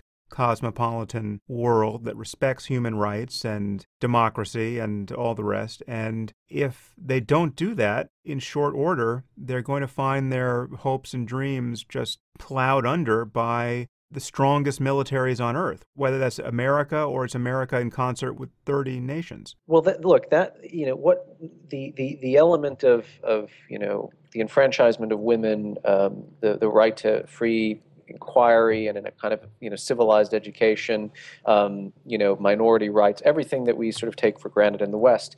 That is something that can only be sorted out by the people of the, the region and, and the practitioners of the faith. Uh, there's no question. I don't think the United States, um, apart from defending dissidents, be they you know bloggers in Riyadh or you know homosexuals in Tehran, I don't think the United States really has that big of a role to play there. What I'm talking about is um, geopolitics and you know essentially an active war being waged on the one hand by 62 nations to some extent really uh, you know just three or four i mean mm. you know all of the arab countries that have been part of this coalition have stopped bombing you know, this is one of the great sort of misconceptions. We say, oh, we've got Saudi Arabia, UAE, Jordan. Remember, King King King Abdullah of Jordan was going to. I mean, he was like on the cover of Esquire, like Russell Crowe. After Muazzez al-Qasasbeh was burnt alive, he was going to march into Raqqa and wring mm-hmm. Baghdadi's neck himself. As of I think October, uh, maybe even earlier, Jordan just stopped bombing. Uh, and they stopped bombing because they can't afford to have another pilot downed and another incident like that repeated. And also, and this is something we you know we didn't get into, but we probably should at some point, or maybe for the next podcast. Internally within these countries that are putatively on America's side, is this element, this current of Salafi jihadism, which, mm. if not sympathetic with the ISIS project, is perhaps sympathetic with Al Qaeda's project. Um, for instance, when Jordan was negotiating with ISIS for the release of Qasasbeh, who did they use to negotiate on their behalf? Abu Musab al-Zarqawi's former mentor, al-Makdisi. Mm. They used Abu Qatada, once described as al-Qaeda's lieutenant in Europe, also the happiest man in London because he was under house arrest paid for by the British taxpayer living in a dilapidated mansion in North London for a while until he was extradited to Jordan. They used two known al-Qaeda jihadis or hmm. al-Qaeda theoreticians to try and parlay with what has become an ultraist offshoot of al-Qaeda and they failed, and ISIS humiliated them and abased them by, by having the man burnt alive, even whilst they were continuing the pantomime of negotiations. Hmm. So this is something too to consider. There is a there is a debate taking place within the annals of jihadism. Westerners could care less, I'm sure, but it's important because it, it's this is this is resulting in this. It's a it's a combination of a cold and a hot war between Al Qaeda, our first enemy after 9/11 or before 9/11, and ISIS. Uh, and they're fighting each other. And as I mentioned earlier, one of the ways that they're going to fight each other is by racking up an infidel butcher's bill and doing so on the in, in, the streets of Europe and the United States. Right. Um, but look, you know, in answer to the question of well, you know, we need to destroy and degrade, or whatever the, the going euphemism of the day is, ISIS. Look, it, it, it comes down to learning from recent history. How did ISIS you know, reassemble? How did it become strategically on the front foot again in Iraq? It didn't just happen overnight, and it wasn't just because of the Syrian revolution next door. In 2010, Nouri al-Maliki, who was an Iranian stooge and essentially, you know, the Shia Saddam, at least if you're Sunni, mm. didn't win re-election, but the U.S. Allow, allowed him to steal that election and backed him. And you can there's a great definitive history of the Iraq War called the Endgame, where there's some really unbelievable quotes from Vice President Biden um, and also from the, the U.S. ambassador to Iraq at the time, uh, Chris Hill. Biden said, "We know Maliki hates the goddamn Sunnis, but you know he's the only one who can really form a government. So let's help the Iraqis violate their own constitution, which we helped them write, by the way, and reinstall Maliki in the driver's seat." Maliki proceeded to suppress protest movements all throughout uh, Iraq through violence, um, you know, similar to what Assad was doing in 2011. But even more than that, all of the, the Awakening Council guys, all of the, the, the Sunni Arab, the Sunni tribesmen who had turned against Al Qaeda, who then expected to be incorporated into the Iraqi state institutions, you know, policing themselves, uh, having a national guard, or, or you know, being uh, you know, paid a salary as members of the Iraqi security forces they were all hung out to dry because Maliki didn't trust them. He didn't like them. And he had his own project, which was a kind of boss tweed style uh, Shiistan creation, in mm. beginning in Baghdad and then extending into to, to southern Iraq. ISIS came back because the very element that we had worked with to expel them welcomed them back in as an alternative to Baghdad, and behind Baghdad, really, Tehran. These were mistakes the United States made. Right. But it seems like we're poised to make that mistake if we follow your initial piece of advice, which is to arm nearly as radical mujahideen against ISIS and then hope that the aftermath of that victory is going to be more palatable than ISIS itself. The Al Qaeda theorists who are negotiating on behalf of Jordan to win back their pilot, here we're in, into territory that is a distinction without a difference. Yes, it's you know they're not as bad as ISIS, say, at least in that local instance, but we're just as at war with Al Qaeda and everyone like Al Qaeda as we are with with ISIS. Just to reiterate, Sam, I mean, you know, I mentioned earlier David Petraeus. He caused a lot of scandal when he made these comments about working with Nusra. I don't I don't recommend anything close to that. Um, but you know, the, the, the U.S. and the West has put so much scrutiny on who's the Syrian opposition, and we don't know who they are, and they're all doc. You know, on the one hand, they're either um, you know sort of lapsed professionals, as, as, as Obama put it, doctors and farmers and engineers. Mm-hmm. On the other hand, they're all Al Qaeda. Well, no, I mean, you know, even to this day, there are elements on the ground in Syria that, that the West can partner with and work with. Um, they're better than Hamas, um, not as bad as Al Qaeda, and certainly not as bad as ISIS. And here's the news they're already fighting ISIS and to some extent fighting Nusra. It's true, a lot of Syrian rebel groups, including ones the U.S. is working with, fight alongside Jabhat al Nusra. But again, why are people joining Jabhat al Nusra in Syria? Is it because they're Al Qaeda ideologues or because they see them as a credible, disciplined, cadre of fighters that is actually taking the fight to Assad and making gains. It's more the latter, and I can give evidence. I mean, there are people who were part of the protest movement in 2011, 12, got disillusioned with them, joined another Islamist group, didn't like them, joined Nusra, then saw Nusra as being overweeningly brutal and medieval, and left and went back to, you know, if not being a protester, then became a refugee and fled. So there is a, a fluidity here, or militias. And you know, this is this is to Petraeus's point. People we cleaved away from Al Qaeda in Erbil, 2007 to 2009 period. Um, you know, yeah, a lot of them were Islamists. A lot of them had been responsible for blowing up soldiers, U.S. soldiers, British soldiers. But you know, we needed them because a mm-hmm. they knew where the bodies are buried. They knew the logistics, the networks, how to find these guys. They shared credible intelligence. We left Iraq and we're in the right. process of leaving Afghanistan. So doesn't that tell you that we don't have the stomach for for a, a multi-decade effort to to pacify the region? If that's the case, then look, then I, I really don't have any solution because you know America will suffer. As I said before, you know it's it's it's the old Trotsky line about you may not be interested in the dialectic, but the dialectic is always inter- is always interested in you. Mm-hmm. Same thing applies to the Middle East. You know the isolationist argument doesn't really work unless you're prepared to not get involved and still suffer and still be attacked and harmed because that's exactly what's going to happen. You know if we didn't pick a fight with ISIS, they would pick a fight with us. Um, and uh, insofar as as there's now, I mean, you know, also beware of the the long long term consequence. So I've I've given you a kind of broad sketch of the contours of the changing Middle East. You know, a statelet of Kurdistan led not by America and Turkey's ally, the KDP, but led by the PKK. Um, you know, Assad would will will create, whether or not Aleppo falls in the next few weeks or months, is looking to create essentially an Alawistan for his sect and whatever uh, loyalist minority groups have aligned with it out of fear of the Sunni jihadis. Um, ISIS still controlling these briar patch regions of eastern Syria, western Iraq. Shia militias in control of most of the green zone in Baghdad uh, and everything south. Um, and Iran, which is exporting not just military uh, capability, but Khomeinist principles, Khomeinist ideology to Yemen, to, well, obviously Lebanon, to the occupied Palestinian territories, everywhere, which is also driving the Sunni Arab countries nuts. Mm-hmm.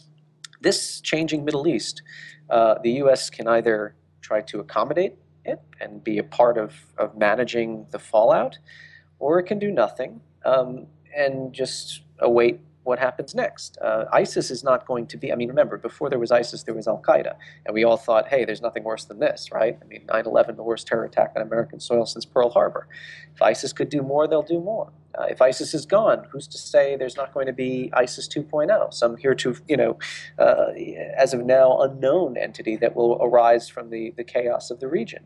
Um, but my, my concern, my criticism is we are actively underwriting and facilitating the creation of this new Middle East without any you know any cognizance of the long-term consequences mm. and they will be anti-american consequences i mentioned to you like you know you've got three Americans in captivity, reportedly in Sadr City, Baghdad. And you've got over 10,000 Americans stationed in Iraq as part of a non boots on the ground military effort, which is mostly advisory in nature. But still, um, what happens if Americans start dying again, get, getting captured or killed? If we deploy troops to Syria and Iraq, what happens if they get captured or killed? Um, you know, U.S. military. I mean, everybody I interviewed in my my book, by the way. Uh, all the former, they're mostly colonels. So if you know, I mean, colonels win a war, generals take credit for it. Mm. All the colonels say, um, we'll be back in both of these countries, or we'll be back in Iraq for sure in a combat role, but we will eventually be back, be in Syria. Um, and I take that very seriously because that's a, that's a sobering assessment, uh, whatever the American electorate believes. Look, if, if ISIS wages um, something like Paris in the United States, and by wages I mean you know, they send operatives mm. like Abdeslam, uh, you know, and Abaaoud uh, into our country. Uh, I think the electorate's stomach for a long fight is going to change, and I think people will have forgotten, you know, the Iraq War, Afghanistan, and just want to kick the shit out of these guys. One of the most depressing things you said is your description of how hamstrung the Jordanian regime is given the loss of a single pilot, how they can't afford to lose another, and they have to worry about their own Salafi style lunatics in their midst. So, again, I recall all of the sword rattling after the pilot was killed, and the fact that they can't get it into their heads that they need to fight ISIS after that just extend that analysis to the Saudis as well and any other neighboring regime we want to help us in fielding a Sunni force against ISIS. One, why can't we apply more pressure to these regimes, and in particular the Saudis, and get them to stop exporting the ideology that has caused this problem in the first place? Yeah, well, most of these regimes, again, this comes back to the old um, theme of, of the state's relationship with non state terrorism. Um, so, absolutely, the Saudis have been a you know, kind of cottage industry of exporting Wahhabi style Salafism, which, I mean, th- those main currents have, have absolutely infiltrated and, and helped shape the ISIS ideology. Um, but in, since the 90s, uh, it is the case that the Saudis have been very fearful of blowback from this. You know, the, the, the, the underwriting of the radical madrasas has somewhat diminished. The guy who's now, I think he's second in line to the throne, Mohammed bin Nayef, he was nearly blown to bits by Al Qaeda in the Arabian Peninsula. He's in charge of their Syria file, by the way. Um, mm. He's also one of the few Saudi officials that the U.S. respects uh, on a counterterrorism premise. Um, so the Saudis, you know, in, when the Syrian insurgency started, most of the people that they were backing, groups like the Syrian Revolutionaries Front, um, the, the, the Hazm movement, you know, these were groups that were more or less palatable to the United States. Uh, when King Abdullah died and King Salman came to the throne, I mean, you, you know the sort of the, the Saudi geopolitical posture. They were they were very much against the Muslim Brotherhood in mm-hmm. Egypt. I mean, they were responsible for financing and supporting the the, the Sisi coup. Um, King Salman has taken a more conciliatory approach toward uh, political Islam and Islamism. Um, the Muslim Brotherhood is no longer persona non grata uh, to, in Riyadh as a result of his you know, reign. And the Saudis have now begun to um, funnel weapons and material to groups that are part of a consortium of militias, particularly in northern northwestern Syria, known as the Army of Conquest, which includes Al Qaeda. And you know, the, the, the window of opportunity for the U.S. to sort of rein in the Saudi support for the insurgency, or at least groups, you know, direct that support to groups that we would have, you know, preferred to work with that window has now closed. With respect to Jordan, yeah, I mean, um, Mu'izz al-Qasasbah came from a, a, prominent tribe. His family is, is very influential. And when he was killed, his father and his relatives marched in the streets, and they were, they were risking you know, charges of treason, no light matter in, in the Hashemite monarchy, for denouncing the government and saying you didn't do enough to get him back and, and all of this. Um, there's another aspect, though, to Jordan's policy, which is they are one of the largest recipients of Syrian refugees. And uh, the camp, the Zaatari camp that they're running, is quite squalid. You've mm. got uh, prostitution, radicalization galore happening in the, you know, refugee camps are uh, next to prisons in the Middle East, academies or universities for minting jihadi fighters. It's, mm. it's always been the case, it always will be.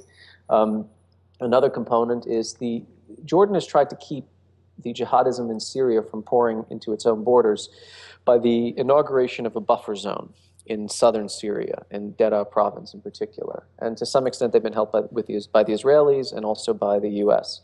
And the main group that they have supported is called the Southern Front, which is an umbrella of about 54 different Free Syrian Army militias um, again, most of them nationalist.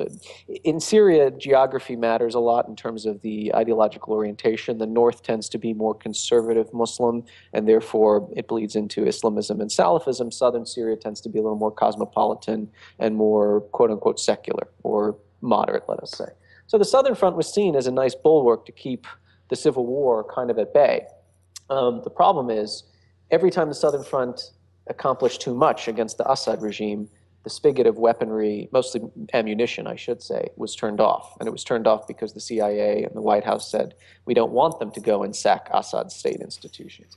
Well, now there's a new component, which is Russia's bombardment campaign in southern Syria, hmm. which is targeting the southern front, has actually created a, a, a sort of vector for ISIS. There's two groups in southern Syria. One's called the Yarmouk Martyrs Brigade. The other is the Muthana movement, which are essentially cutouts for ISIS. Collectively, they're about 2,500 guys, but they're making inroads into southern Syria on the back of Russian airstrikes against their nemesis, the Free Syrian Army. Even the Israelis, the, the, the Financial Times quoted a, an IDF commander last week saying Russia's intervention is, is giving ISIS a new perch in southern Syria, a place where they really had had no presence before. Um, so th- this is what complicates it with these, these Arab governments. Um, the fear of, of an internal rebellion of their own uh, constituents and their own citizens essentially aligning with terroristic enemies. I mean, again, Abu Musab al Zarqawi was what nationality? He was Jordanian. Mm. The first target of his in Iraq, in fact, in 2003, was the Jordanian embassy in Baghdad. Mm-hmm. The second target was the United Nations. Um, and this is one of the one of the things that ISIS has, has preyed upon in their exploitation of the Qasasba capture. Um, you know, returning to first principles, if you like declaring war again against the, the near enemy, which is Jordan and other regimes. Saudi Arabia, look, uh, if you look at the ISIS iconography, uh, their black flag with the Shahada, it envelops the globe, but they also put out posters and images showing, um, you know, them in control of, of the Kaaba. Mm-hmm. You know, they, they, they have sacked Mecca and Medina. So they, they want to declare war against Saudi Arabia, and to some extent they have done. And this is also uh, motivating the Saudis to take you know, a, a very, very backseat role in this coalition. Right, but wh- why is it so backseat? Well, they, their primary enemy is, is the primary enemy of, of most of the Sunnis in, in the region, which is Assad and Iran. Yeah. And yeah. they consider them greater foes than Iran. By the way, Sam, I mean, the Israelis too. You know, the Israeli posture in, in with respect to Syria is, is one of the most intelligible on the planet. For the Israelis, you know, as Moshe Dayan said, there is no foreign policy, there's only national security policy. So for them, Jabhat al-Nusra, yeah, we can, you know, we they, they, don't dare come into the Golan, they don't dare provoke or antagonize us. Any Syrian military installation that shells or bombs in Israeli-occupied territory, the IDF powders them, and then they upload the video to their social media channels to show Assad that that you know don't even think about it. ISIS, though, I mean, if, if ISIS were to penetrate, that would be a major strategic uh, security threat for the Israelis. But really, their, their primary fear is the, the Revolutionary Guard of Iran and Hezbollah yeah. and the weapons transfers that are being, to this day, continued. Um, you know, the, the, Russians play this game. It's, it's, it's actually very clever. You know, I mean, as much as Putin wants to prop up his client, the Civil War has been good for business. Russian weapons exports are increasing by orders of magnitude. And one of the reasons is look, the weapons the Syrian rebels use are what? Soviet or Russian made. You know, AK-47s, if they have tanks, they're usually the T-72s confiscated from the regime. Every time the, the rebels use their weapons to blow up Russian-made Syrian, uh, you know, material, it means that there's more weapons contracts, so Russia has, gets to sell more of its gear to not just Syria, but to Iran, which is giving it to Syria and then on to Hezbollah. So the civil war has created this kind of rather cynical industry of, of, of you know, moving missiles and guns and tanks, armored vehicles all throughout the region. It, it, mm. It's good for Putin in that sense. Again, we, we, we take this very binaristic approach to understanding these conflicts, but the rest of the world does not.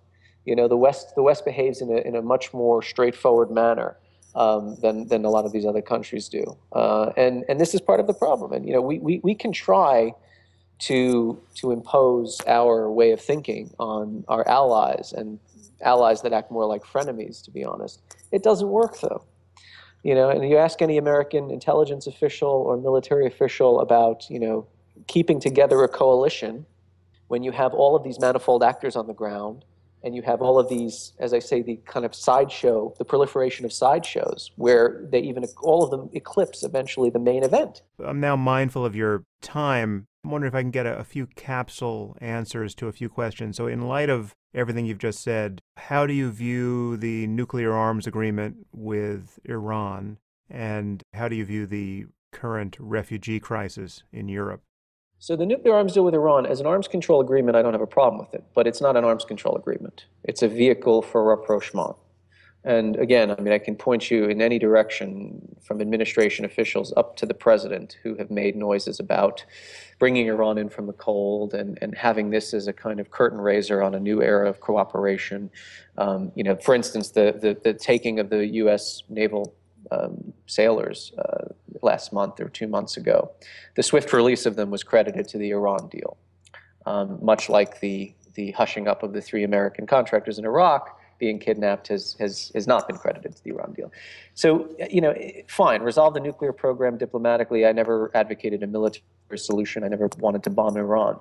But again, do not then acquiesce to the hegemony of the, the IRGC throughout the region, particularly when all of your allies, as fraught, complicated, and uh, unreliable as they may be, they're still your allies. It's driving them nuts. And mm. it's, it's creating it's, it's creating this sort of metastasizing conflict of Sunni extremism. Um, as I mentioned, I mean, again, it comes back to the social and political drivers behind ISIS. Um, and it also feeds into that conspiracy, which is the U.S., Iran, and Russia contra mundum, basically. You know, every, they're, they're, they're, they're, versus, they're against all Sunni Arabs in the region.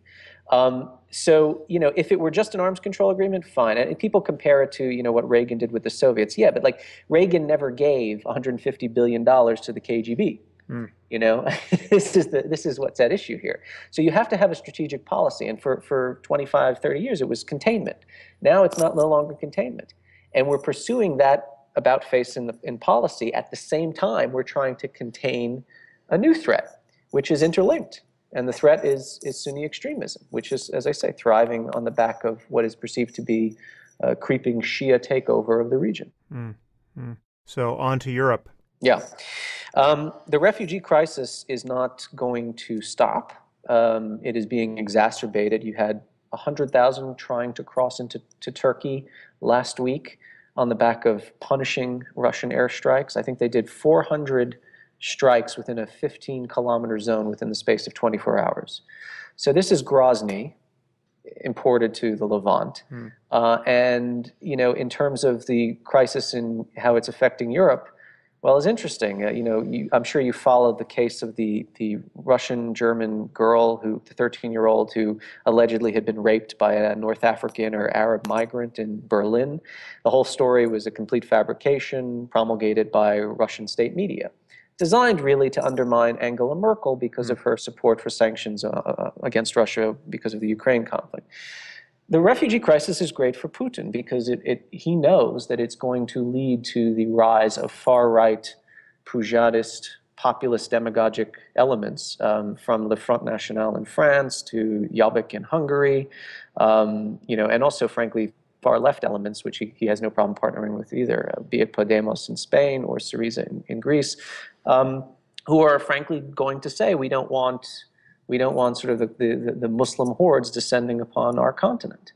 Um, even traditional NATO allies. I mean, you know, Hungary. Viktor Orban has come out and said Hungary is a Christian state. We don't want to be taking in any Muslims. Yeah, um, even Sweden. Is, Sweden, now, sure. Yeah. And look, there is a there is a legitimate. I mean, let's let's not be so kind of dewy-eyed and, and, and romantic here. There is oh, a, a well, I, am not. I'm not. No, I know. I mean, there, there is a security quite worried threat. about this. Yeah. Yeah, I mean, the Germans. It depends on which which. Um, which intelligence agency you talk to, the domestic or the foreign. But the Germans, they, they are concerned. I mean, you know, you, you have ISIS guys who are not themselves refugees, but who are going to masquerade as refugees coming into Europe. We saw this in the Paris attacks. This is how a lot of, you know, I think um, at least three of the, the, the 10 operatives uh, got in via Greece on these fake Syrian passports posing as refugees. Um, so this is a this is a national security uh, threat. Also, it plays into the ISIS narrative beautifully. When um, when Le Front National, um, they didn't end up winning the election, but they won the, at least a large chunk of the first round of the regional elections in France, not long after the, the Paris attacks. When that happened, ISIS on social media was was cheering because they said, "You see, we told you. Like it's either us or you know nobody because the West will, is is anti-Islam. They're against all Sunni Islam, and they're you know th- these these parties fascist parties in, in Europe who want to close the borders and, and block all immigration, um, that's, the, that's exactly the kind of enemy we want to see because they, they, they make it simple. They don't dress it up in euphemism or in sort of moral posturing. They just say, no Muslims. Uh, and that, that will drive people into the arms of ISIS and similar minded organizations. Interesting times, Michael. Well, Sam, look, you know, I say I, I, I kind of am out of I'm out of prescriptions. Like five years ago, I had them galore, and it's been it's been very humbling to watch, sort of you know, to, to have a, a, field of interest and and you know do a do this kind of work in a re- part of the world that frankly I didn't know much about, you know, half a decade ago, and just watch it burn to the ground, and people I know and have gotten to know well and care about either killed or driven from their country and now completely demoralized and i just i don't have any answers anymore you know? I mean you ask me like what are my solutions? Again it's all like it's it's very theoretical isn't it? Because i know that the us is not going to do what's necessary. Or it, you know it, it will resort to half measures at best mm. and not the follow through and the, and the lack of follow through um, is often worse than not having done anything at all. Yeah. For better or worse, the story's not going away, so we will have other things to meditate on and talk about. Despite what we may want to pay attention to, it's going to just keep coming back to this, I think, again and again. And the way this is interacting with more traditional geopolitical concerns. I mean, Russia now is, you know, hitting the front page of the New York Times in a way that it hasn't in over a decade. And so the fact that shades of the Cold War are coming back to us because of the issue of jihadism and Islamism. I mean, it's just it, not not to depress our, our listeners even more, but let me just ask the scariest of all questions. What are the chances in your mind that we are going to look back on these years and see this as the beginning, in some basic sense, of World War III? Look, I mean, I lived in I lived in London for three years, so I've kind of I've, I've immersed myself in Europe, um, and I I can certainly see the lineaments of you know the, the, the rise of very extremist ideology, not having anything to do with Islam or jihadism, by the way, uh, and I see the recrudescence of them now. And you know, look, I, I, disagree with you slightly in the sense that I don't think that you know Cold War 2.0 is a direct result of what's happening in the Middle East. I think that's an epiphenomenon, if hmm. anything. Mm. I mean, the invasion of Ukraine had nothing to do with Muslims, for instance. But just the fact that it's creating a plausible scenario where we could wind up shooting at or being shot at by Russians directly. Um, yeah, look, it's it's possible. I mean, um, you know, when Putin says I can nuke Poland or I can invade five NATO capitals within the space of two weeks. That's the kind of thing we would have taken very, very seriously 25, 30 years ago. Uh, and I think we're beginning to take it seriously again. Um, you know, Europe is once more becoming this kind of battleground. Uh, and at the borders, the, the, the sort of post war order, the post Cold War order, has, collapsed. I mean, uh, could I see in my lifetime a nuclear exchange, whether it's tactical nukes or you know continent, intercontinental ballistic.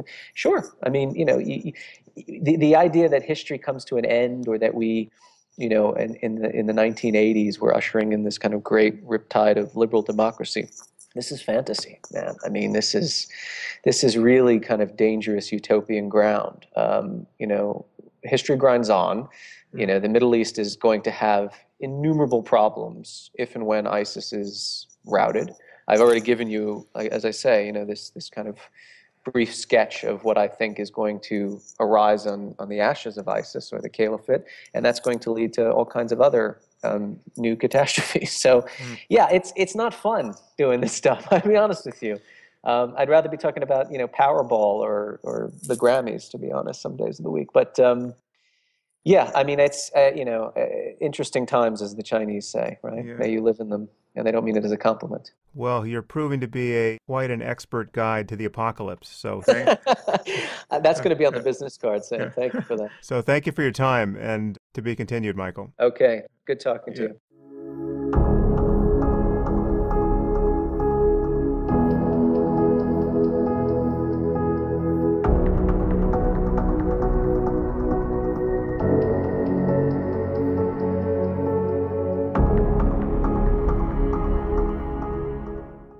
If you enjoyed this podcast, there are several ways you can support it. You can leave reviews on iTunes or Stitcher or wherever you happen to listen to it. You can share it on social media with your friends. You can discuss it on your own blog or podcast. Or you can support it directly. And there are two ways you can do this. You can leave a donation through my website at samharris.org forward slash donate. Or you can try a membership at Audible, the world's leading source of audiobooks, at audibletrial.com forward slash Sam Harris.